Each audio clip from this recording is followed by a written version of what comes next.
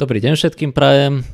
Podľa rozvrhu už máme dnes posledné cvičenie z predmetu operačné systémy a dnes tu mám pre vás pripravené odpovede na otázky z predošlého labu, čo je mmap. Takže ak nejaké otázky máte, tak som pripravený na ne zodpovedať. Um, ja mám trošku problém. Nejako, že prešlo až po mmap to files, ten mmap test. Aha. A je to niečo iné ako mapovanie jedného súboru?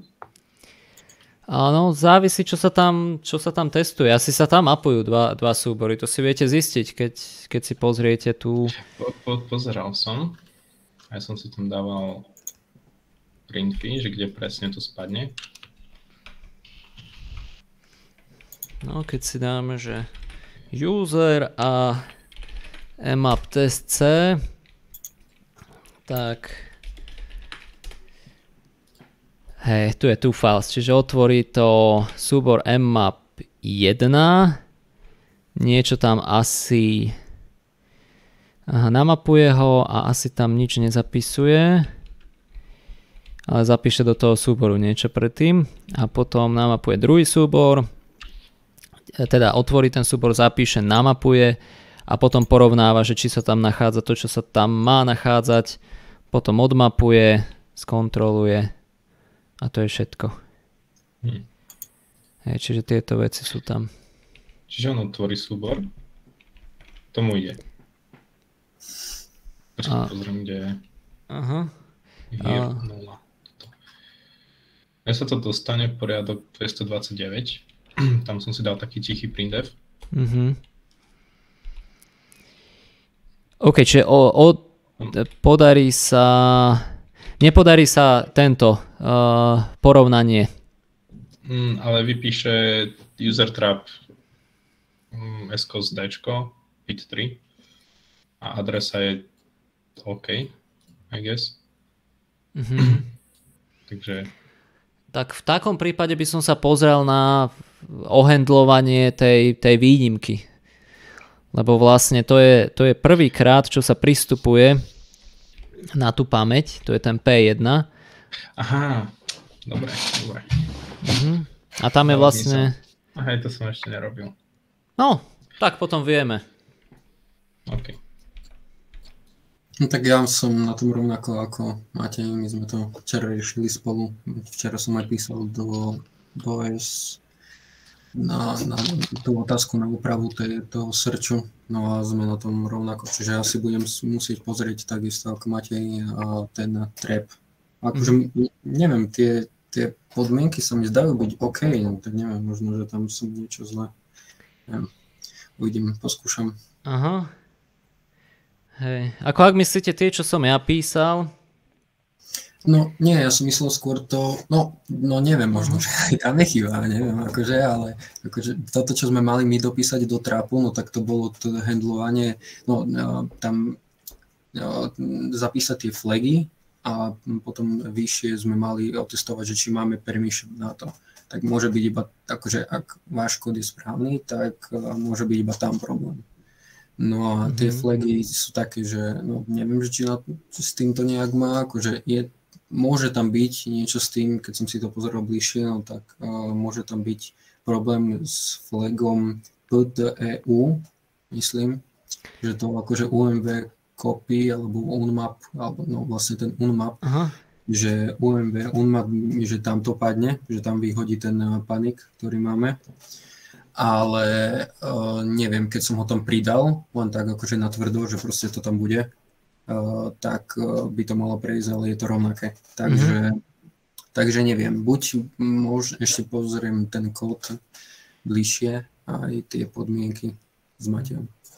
Čo sa týka tých príznakov, tak tam treba a keďže je to vždy pre užívateľa, tak vždy tam bude nastavené to účko. mm-hmm. Keďže sa vždy to minimálne číta, tak malo by tam byť aj r otázka jediná znie, že či nastaviť dvoj-TV alebo nie. Čiže a to treba podľa toho, čo si vyžiadal ten užívateľ na začiatku, keď si vyžiadal protection read, tak treba dať iba to čítanie, nie na zápis. ak si vyžiadal aj write, tak treba dať na zápis, ale potom uh, zase treba aj kontrolovať to, že či je ten súbor zapisovateľný a zároveň či je tam nastavený ten príznak map shared.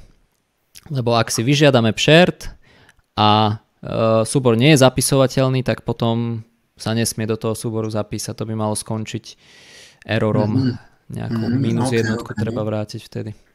Dobre, lebo akože ja tu momentálne tie príznaky hm, hádžem tak, že V a U dávam stále a potom si to podľa toho prod zistujem, že či je prod exec, tak tam zapíšem tuto je x na exec, je to tak exec sa tuším, že no, tam ani no, nevyužíva.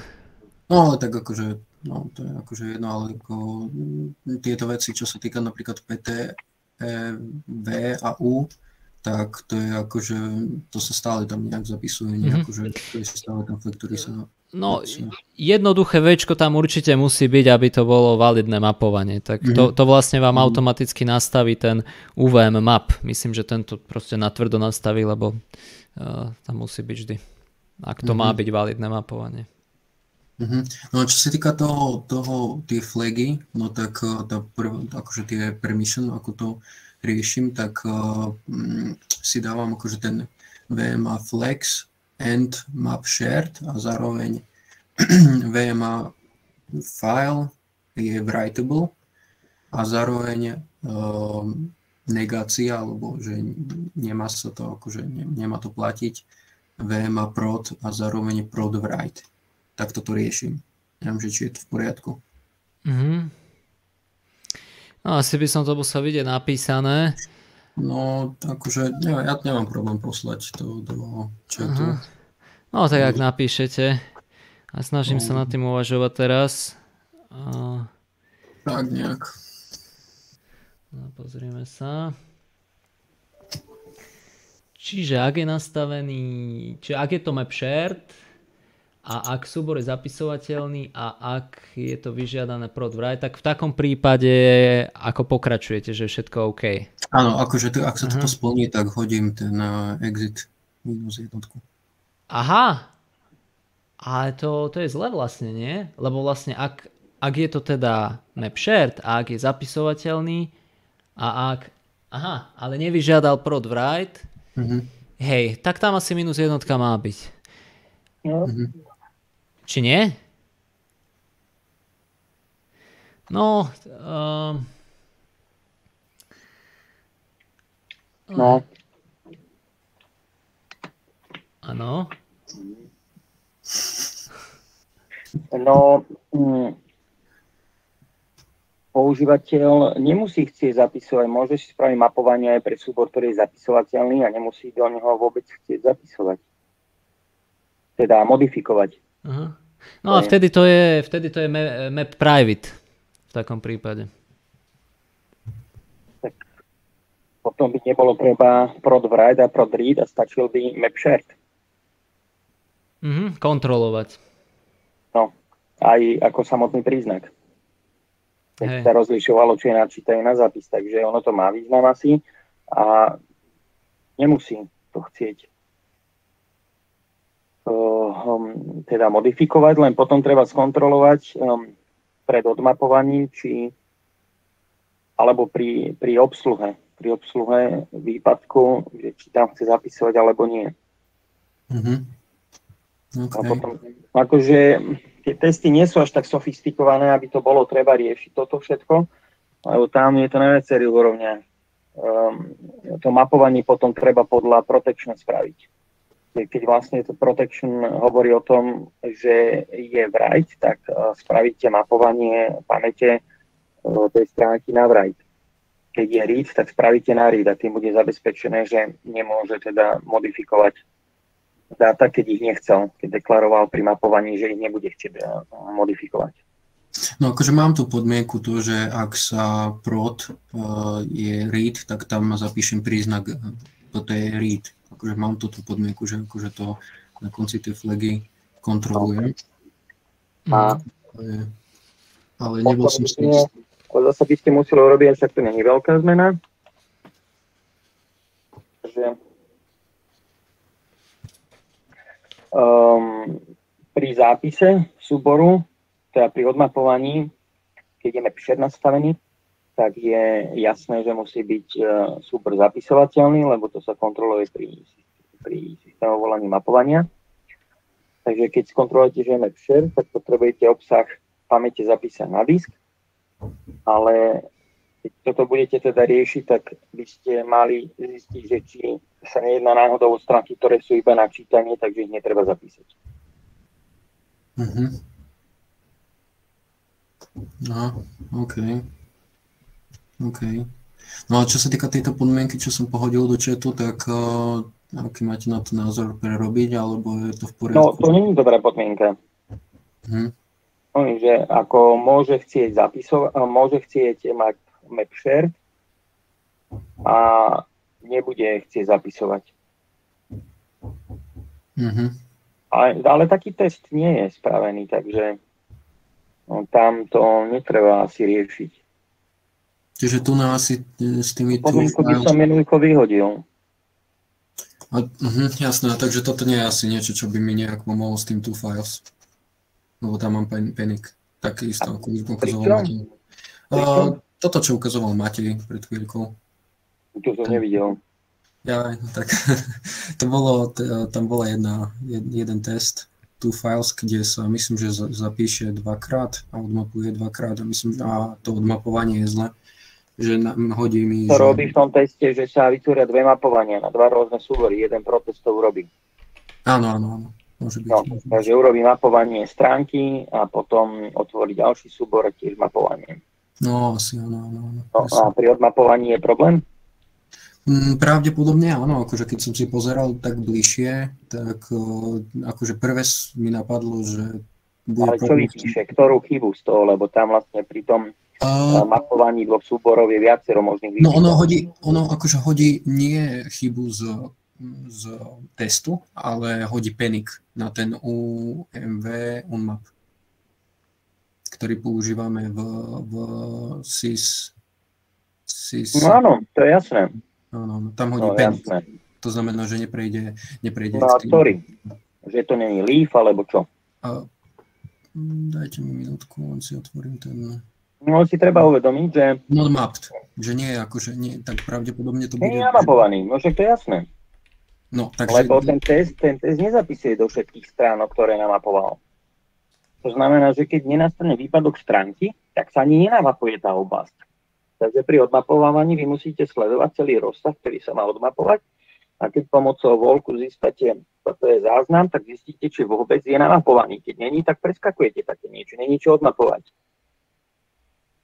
Uh-huh, takže môžem byť problém pri tom uh, zachytení, tom exceptionu, akože keď sa akože v tom trepe, tam môže byť problém, alebo to môže byť... No problém? nie, keď ako náhle máte už výnimku, výpadok, tak sa spraví alokácia stránky. No áno, áno. Ja hovorím o tom, že ak si používateľ namapuje súbor, tri stránky súboru a spraví si z map a spraví si z map bez toho, aby pristúpil k vôbec nejakej stránke Máte niečo namapované? Je aj takto? Aha, takže môže byť problém v tom odmapovaní, hej? Áno, v tej vašej funkcii odmapovania regiónu musíte sledovať každá stránka, či je namapovaná, tá, z ktorej chcete odmapovať. Ak nie je, tak ju preskakujete, lebo k nej používateľ ani raz nepristúpil, takže nenastal výpadok stránky, ani sa nenamapovala. No ale akože ja to práve, že kontrolujem cez Valk ADDR, ale Valk ADR vám nevráti po tej záznam. A, aha, ja som si myslel, že ten Valk ADR akože m, m, vráti nejakú adresu a ak sa nenamapovala, alebo ak tam nie je, no tak vráti nulu a tým pádom môžem si to akože... Možno, hej, ja som nepoužíval túto funkciu, lebo ja som zapracoval aj ten špinavý byt, aby som mm to mal, čiže tam mi uh, táto funkcia nevedela pomôcť, takže to vám neviem povedať, to asi Roderick bude vedieť skôr. No, môžeme pozrieť, čo ten Volk ADDR robí. No, akože, čo sa týka toho popisu, tak je to napísané, že, že hľada virtuálnu adresu a vráti psychi- fyzickú adresu a ak sa tam nenachádza, tak vráti nulu. Aha, hej, čiže ak nie je, no tuto to aj vidno. Uh-huh. Ak tam nie je valid, tak A kontrolujete tú hodnotu? No áno, jasné, jasné. Mám tam podmienku, že if map, ktorú si a to je akože intová hodnota, ktorú tam vrát, ktorá mi vráti ten valk a DDR. A ak, ak uh, jedine akože to kontrolujem, že if mapped, tak pokračuje ďalej a ak nie, tak uh, pre, prechádzam uh, na ďalšie, akože pokračujem vo forku a na ďalšie, na ďalšiu, áno, page.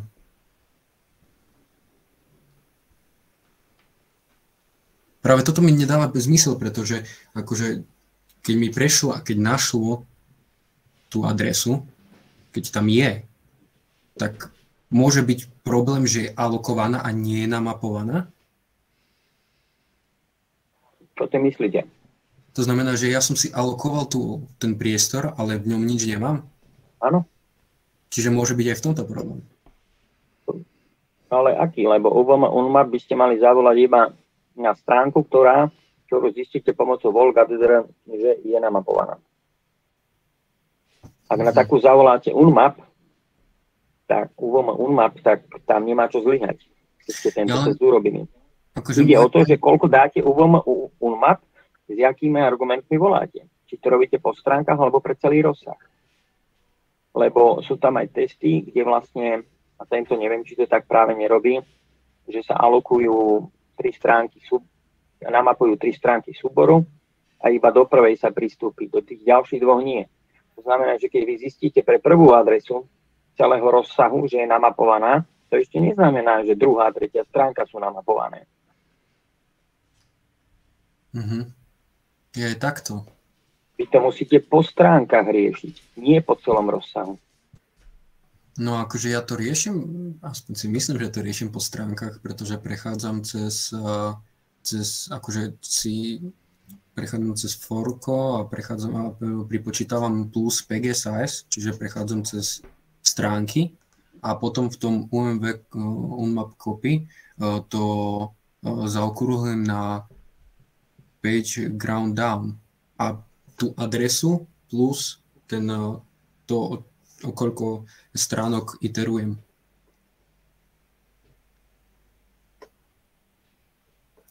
Tak neviem. Môže to byť kvôli tomu, že ten UMV UNMAP má poslednú, posledný parameter tú jednotku alebo nulu, že či máme akože dať free a odalokovať tú pamäť. Môže to byť problém s tým, lebo ja teraz mám jednotku. Takže či je to v poriadku alebo nie. No podľa toho, čo chcete dosiahnuť. No tak mm, akože ja keď si pamätám mm, tak akože tak matne, že, eh, že ten UMV UNMAP, keď sme to odmapovali, tak myslím, že tam bola nulka, pretože sme to chceli len odmapovať. A potom, keď sme to chceli dať akože ten, mm, keď sme to chceli akože dať eh, free, akože odalokovať, tak potom sme tam dávali jednotku tak neviem, že či aj toto nemôže byť problém, že či akože teraz si to odmapujem a, od, a si dám free na tú, na, na tú, na tú alokovanú, na ten alokovaný priestor. No a že či je to, No. akože, čo sa týka akože toho odmapovania, tak to asi nemám aj odalokovať, nie? To by malo robiť nejaký ten, ja neviem, dajme tomu exit, toto tiež máme ešte upraviť, tak tam mi to príde logické od, akože aj odalokovať. Či? Zle rozmýšľam. No keď máte, keď máte odmapovanú nejakú stránku, fyzickú rámku a jak ju potom uvoľníte? Máte z potom ešte na ňu odkaz z nejakého No, virtuálneho adresného priestoru? No to je inak pravda. no. Ja som akože myslel také niečo, no síce fakt, ten copy on write fork si stále bral novú adresu, nezapisoval na, na nejakú adresu, alebo neprepisoval adresy. Aj no, to je pravda. OK, čiže tá jednotka asi tam má byť. No, čiže, no neviem, akože s, tým, s touto adresou, akože s tým, s tým, že či je alebo nie je namapované, tak ja som si myslel, že mi to zabezpečí ten valk LDDR. Ale tak neviem. No treba to teda ladiť, to znamená, že ak tam je ten uh, penik, tak to je z akého priestoru kernela, kern, no, že kernel, lebo on No, tam jasne. uvoľňuje. Jasne. No. Mm, To znamená, že musíte sa pozrieť, že aká adresa sa ide odmapovať, skontrolovať si svoj kód, že či to teda máte správne ošetrené vo všetkých tých podmienkach. Lebo tam v tom odmapovávaní hrajú rolu tie offsety kadejaké, teda offset pri tomto teste hrá rolu. No. No dobre, no dobre, akože môžem No, sa na to neviem. ešte Nevyčítam je čiastočný som to. No Tak, Jak, ok. jak ten test vyzerá? Ako myslíte, ten tu, tu files, toto myslíte, alebo? Áno, áno. Ukazujem. No, Aha, ďakujem. Pozri to máš, máš v tom uh, UVM unmap ako parameter, že chceš odmapovať jednu stránku. No, no jasne, Ok, ako to mám, čo sa týka, čo sa týka tých mm, parametrov, čo tam hádžem, tak hádžem page table z procesu, potom Mhm. adresu, ktorú chcem uh, odmapovať, respektíve Jedna, stránku. A jedna jedna presne. A mám to akože zarovnané na, na spodok. S tým, že dám adresu plus ten page size, ktorý... Lebo Volk ADDR má podmienku, že keď page není validná, tak vráti nulu. A potom ten panik, ja som UVM unmap, má zase čekuje, že či je validná a keď není validná, tak dá ten uh, panic not mapped. Čiže teda ono ešte zase si zavolá Volk na ono chce virtuálnu adresu. To, ktorú ale si však virtuálnu tam dávaš, nie? No, hej. Že na to, keď ty volkuješ, že získaš fyzickú, tak iba čekne, že či je validná. No áno, ale však ako mne práve, že toto prejde, ten walk mi vráti nejakú adresu. Mi vráti proste jednotku. Alebo, no dobre, adresu, no. jednotku, niečo viac ako, ako je. Teda mi nevráti nulu, tak by som to povedal. A ja toto kontrolujem. No a potom, keď to odmapujem, tak mi proste... ale odmapuješ zase tú virtuálnu. Hm.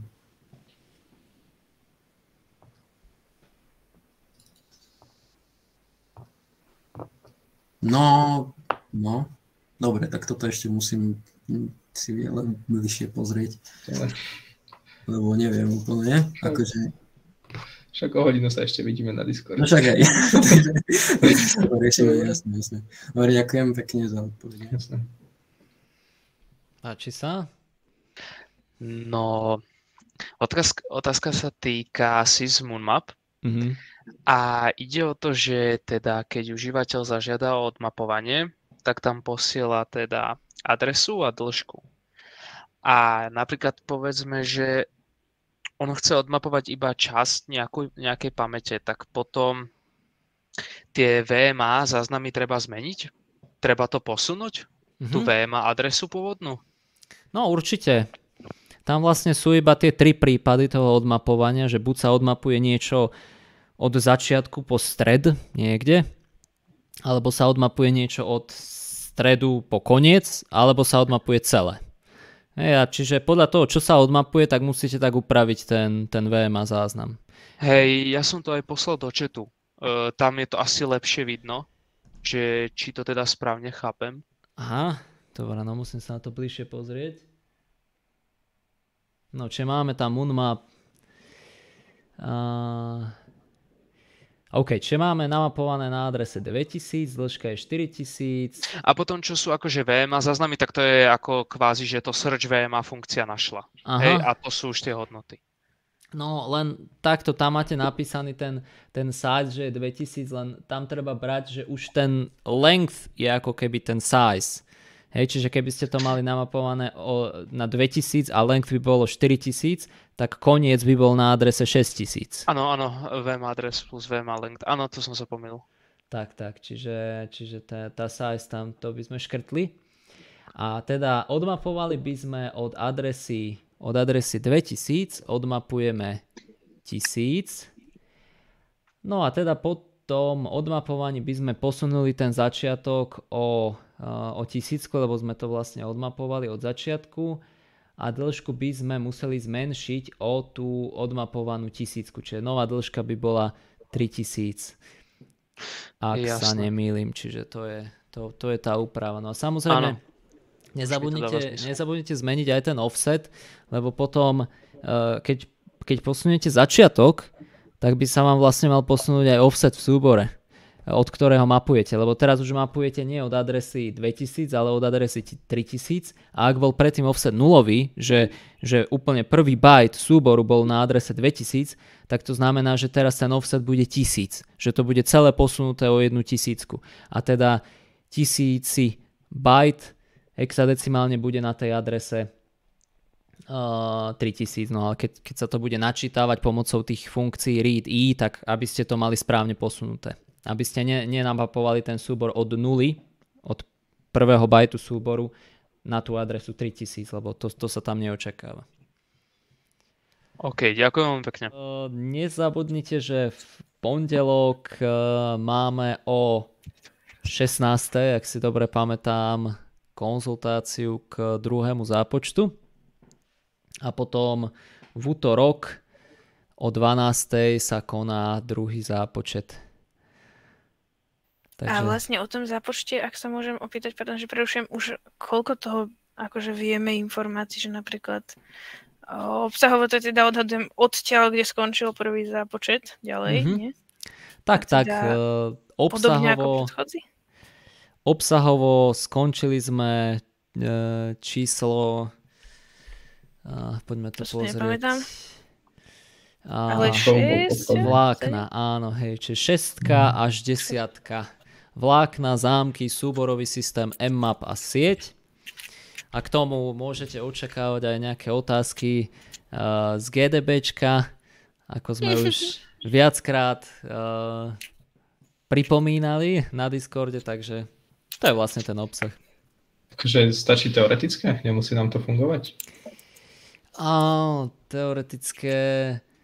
Lebo ako, ako ja by som rád používal to GDBčko, len keď dám niečo, že backtrace alebo niečo, že akože backtrace sa vypíše, to je ako dobrá vec, ale žiadne premenné vedľa toho, akože žiadne stavy premenných. Takže... A, ale backtrace, backtrace akože vypisuje jediná... stavy premenných? Ako... Uh, hej, akože ono mi to vypíše, že pri nejakom tom poslednom volaní, že táto funkcia sa volala s tým a, a tam napíše, že nejaký dvorf tam nedošiel. Že nejaká zlá vec. Aha. A to, a to robí aj pri info, aj pri, neviem, používam, že info locals, ale nikdy sa to nepodarilo, takže celkom to nemám rád. Aha, no tak to máte niečo s tou inštaláciou potom, tak no teraz je už ne, neskoro to riešiť, ale... Ale ovládať to viem, až na to, že mi to neposkytuje žiadne informácie. Aha. Teda backtrace je jediná vec, čo akože asi dôležitá. Jasné. Ale si domysleť, že kde sú chyby. A, no dobre. Ako čo, čo sa týka tých uh, toho ovládania, tak asi, asi skôr no, na tej teoretickej úrovni, lebo uh, my sme museli nejakým spôsobom ako uh, dosiahnuť tú synchronizáciu tej otázky aj toho konkrétneho uh, mm-hmm. zdrojáka alebo niečo, na čom to robíte. No a tie hodnoty by sa tak či tak e, nezhodovali, takže asi, asi také, že by sme sa na niečo pýtali a máte napísať aj konkrétne niečo, tak to asi neskôr to bude, čo sa týka toho ovládania. No, teraz mám otázku ohľadom handlovania e, výnimky v trepce, kedy sa mhm. teda pokusí užívateľský proces o zápis alebo čítanie. A teda tam treba nájsť to príslušné VMA podľa tej adresy, ktorá spôsobila výpadok. No a potom sú tam, tam ste nám nehali ten komentár, to check permissions. Mm-hmm. A niečo ste tam spomínali, že ak sa proces pokusil či o zápis, a no. nie je nastavený príznak map shared, tak alebo No nie som si istý, že čo presne tam máme okontrolovať. Uh, ja som tam kontroloval uh, to, že ak je súbor, ak súbor nie je zapisovateľný a máme nastavený príznak map shared, to znamená, že pri, keď je nastavený map shared, tak sa pri odmapovaní uh, zapíše... Súbor, zapíše áno, súbor. áno. Mali by sa zapísať tie upravené stránky, ktoré sú označené tým dirty flagom nazad do súboru. Tak pokiaľ uh, sa vyskytne zápis uh, do tejto pamäťovej oblasti, uh, čiže uh, trap uh, z dôvodu zápisu, a platí, platí táto podmienka, že súbor nie je zapisovateľný a e, je nastavený ako map shared. A... Tak to vlastne nedáva zmysel. Hej, čiže to, e, že sa to nemôže vykonať. Ale hej, rozmýšľam, že či je tá či tá podmienka môže byť takto. Lebo ono sa to dá kontrolovať aj pri uh, aj rovno pri tom mapovaní. Ak ste, to, ak ste to skontrolovali tam, lebo tam už viete, aký je súbor, viete, že či sa tam pod akým typom ano, ano. dáva. Takže hej, v tomto prípade by to bolo naviac, ak to už tam v tom, eh, pri tom no, mapovaní ano, kontrolujete. To ste písali, to ste priamo napísali aj vy na, na seminári, mm-hmm. ten writable check. A presne to, že ak je shared a nie je writable, a prot je prot write, tak return minus 1. Mm-hmm. Čiže to je, myslím, to je presne, myslím, to, o čom sa teraz bavíme. Mm-hmm. Dobre, takže... Dobre, a to je vlastne... A pri čítaní tam netreba kontrolovať nič? Uh, no očakáva sa, že ten súbor, ak už tam je namapovaný, tak sa dá minimálne čítať. Takže... Mm-hmm. Lebo nemá význam namapovať súbor a nedať mu žiadne právo. Lebo už aj na, ak, ak chcete dať PT write, tak už tam musí byť uh, e, PT read. Ak tam nie je, tak sa to považuje za, za, za chybný PT záznam. Čiže to PTR je také, že ak tam už niečo je namapované, tak isto to má aspoň právo minimálne na čítanie. Preto to nejako netreba kontrolovať. Ani, ani som s tým, s tým flagom, že či, či som už čítal file, uh, že či je readable alebo PT, uh, ako to bolo, prod read, že či by som s tým niečo robil, tak tam som s tým nepracoval nejako. Nie je to vlastne potrebné. Tam ešte bolo, že máme teda správne namapovať. Mhm. No, to mapovanie. No a tam je dôležité správne nastaviť tie flagy. Tak. A to ma napadlo, že to by sa dalo cez tie podmienky, že budem kontrolovať tie VMA Flex. A keď tam bude ten prod write, tak teda by som zapísal PTE write. Mm, môže byť, ale uh, áno, ale treba pritom myslieť aj, aj na tú ešte kontrolu niekde na začiatku, že by ste mali skontrolovať, že či je ten súbor skutočne zapisovateľný a tak ďalej ale takto to, takto to môže byť. A, a ešte treba skontrolovať.